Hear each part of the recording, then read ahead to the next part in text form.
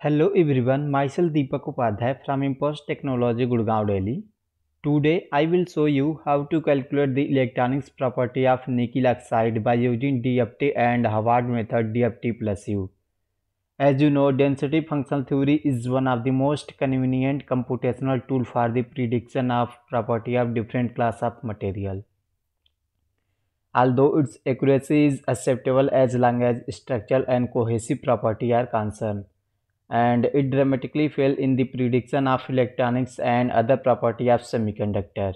So to solve this problem, the Hubbard model DFT plus U introduced, which is computationally convenient for accurate calculation of electronic structure. So I would like to open my device studio. So this is my device studio that is a user interface for this NanoDCAL and ASCII software. And this device studio will help you to build your structure so I would like to click on file and in the file option you can see this is for creating the new project. You can open your existing project. This is for save the project. Here you can create your new device structure crystal structure molecule structure and this is the import option. This software have two options to import the material. Either you can import the material from local database that exists inside this software either you can import the material from online database so you can click on the import local and here you can see this is 0d material 1d material 2d material 3d material and some organic material is there. In 0d material some molecule amorphous and crystalline is there. And this is the 1d material where nanotubes different combination of chiral vector. And this is the 2d material where you can see some novelty material arsenic bismuth black phosphorus and this is the graphene this is the 3D material where you can see conductor, insulator, layer material, magnetic material, metal oxide, novelty material, semiconductor is there. In conductor, this is the conductor, pure metal. This is the insulator, diamond MgCl2, NaCl2 and this is the layer material. This is the magnetic material. This is the metal oxide. This is novelty material, some perovskite and topological insulator is there and this is the semiconductor. So the conclusion is all about that this is the material database that exists inside this software. So I would like to create a crystal structure. So you can click on the file option, go to the new option and here you can select the crystal. Once you click on the crystal, this interface will open and this is the crystal builder where you can see some space group, various space group are there and according to space group the Bravais lattice will automatically selected and also you can send the ABC value, alpha, beta, gamma value and here you can select the element. So as per your need you can select the ABC value, alpha, beta, gamma value and here you can select the element. Here you can see the default carbon atom is selected but if you want to change this carbon from another atom so you can click on this carbon and after this clicking on the carbon the periodic table will open. And from this periodic table you can select any atoms. And if you want to add more atoms so here you can click on the plus icon.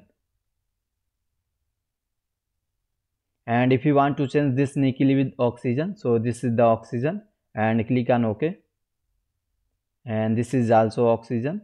And also you can change the fractional coordinate point whatever point you want and once you select the fractional coordinate point you can click on the preview style like primitive cells conventional cells. So this is the conventional cells. You can click on the preview and you can click on the build option. So this is the nickel oxide. If you want to simulate this nickel oxide so you can click on the simulator. You can click on the NanoDCAL and go to the SCF calculation. So this is the self-consistent field calculation for the nickel oxide. You can select the electron temperature cutoff energy exchange correlation function. Also you can define the k point sampling.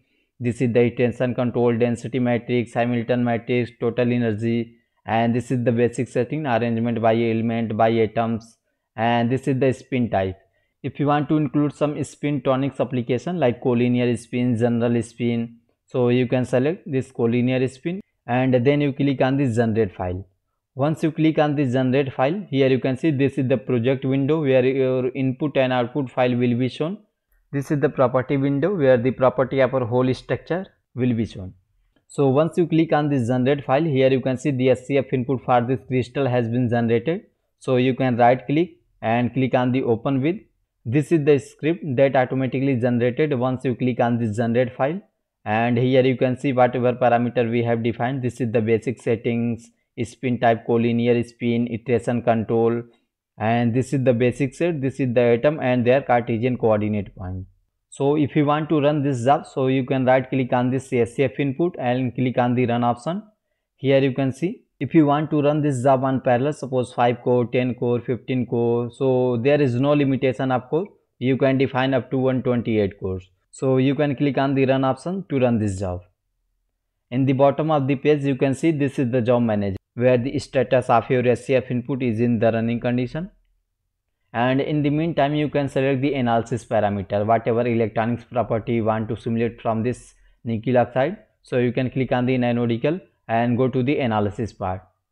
So this is the electronics property whatever property you want you can select. So this is the density of state. Here you can also change the k point sampling number of energy point energy range and this is the projection by atom by orbital and then you can click on this generate file.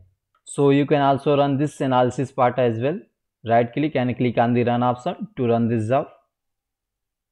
So this calculation is for this DFT calculation. And if you want to calculate the DFT plus U, so right click on the crystal option and copy this project. You can copy and you can rename this project. And here you can see this is for the DFT plus U. Then again you can go into the simulator and select this NanoDCAL and click on the SCF calculation, self-consistent field calculation here you can select the electron temperature, cutoff energy, exchange correlation, K point sampling, iteration control, density matrix, Hamilton matrix, total energy and this is the basic setting. So this is the DFT plus U. So here you can select this Hubbard U terms and here you can see some SPDF combination is there and if you want to change this so you can also change their coordinate fractional coordinate point. And here you can also include the spin collinear spin and then you can click on this generate file.